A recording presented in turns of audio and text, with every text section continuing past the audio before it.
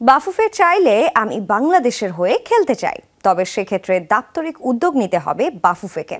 যমুনা টেলিভিশনকে দেয়া একান্তই সাক্ষাৎকারে জানিয়েছেন মোহামেডানের গোল মেশিন সোলেমান দিয়াবাতে। শতভাগ পরিশ্রম এবং আল্লাহর প্রতি বিশ্বাস তার সাফল্যের মূল মন্ত্র বলেও জানিয়েছেন মালির এই ফুটবলার। বলছেন, এদেশের ফুটবল স্ট্যান্ডার্ড বাড়ানোর জন্য তৃণমূলে কাজ করার কোনো বিকল্প নেই। দিয়াবাতের সাথে কথা বলেছেন সৈয়দ আবিদ হুসাইন সামি। বিপদ এখনও আছে জন্য। তিনি গোল মেশিন। গেল তিন বছরে মোহামেডানের সেভিয়র। গুনে গুনে চারটা গোল দিয়েছেন আবাহনীর জালে। তবে সুলেমান দিয়াবাতের ওয়ে অফ থিঙ্কিংটা অন্যরকম। যার একটা বড় অংশ জুড়ে রয়েছে মহান আল্লাহর প্রতি বিশ্বাস।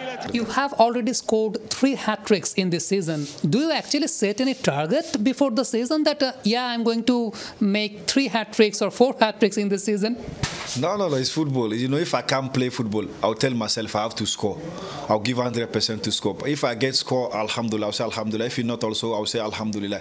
But I never thought I would score three hat trick in this season. You know, like I tell you, everything is Allah. Even when I come to the field, I tell my mind I have to give 100% and I have to score also to make my team win and give everything for my team also. Altini jai mečen, Rafael Augusto Jaigai. Sedaptatik Jack Donovan! Diabate!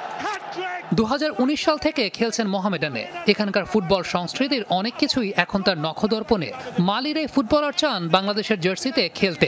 তবে ইনিশিয়েটিভটা নিতে হবে বাফু ফেকে now the biggest question actually which arised that whether Sulayman Diabate wants to play for Bangladesh on not because we have been suffering in the goal scoring sector for a very long time so are you willing to take the charge Yeah, I say if I get opportunity, you know, if BFF call me, say they want me to play for Bangladesh national team, I would you like to play for Bangladesh national team to help Bangladesh national team?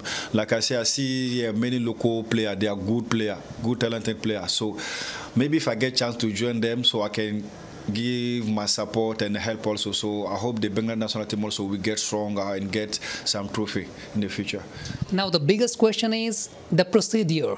The procedure to get the citizenship of Bangladesh, and we have seen Elita Kingsley, who actually has made his mark for Bangladesh.